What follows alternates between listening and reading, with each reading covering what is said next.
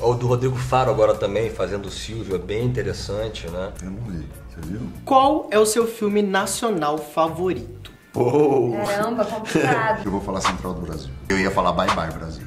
Te falar um filme que mexeu muito comigo, que eu assisti muitas vezes e que eu amo, que é O Redentor. Bicho de Sete Cabeças. E virou um clássico também. É, e virou um clássico também, não é? Da minha formação é o Glauber, né? E Deus e o Diabo. Eu acho que esse filme tem uma inspiração longínqua em Deus e o Diabo, né? O último filme brasileiro que me marcou muito foi O Som ao Redor. Gosto muito do Macunaíma, Iracema, uma transamazônica.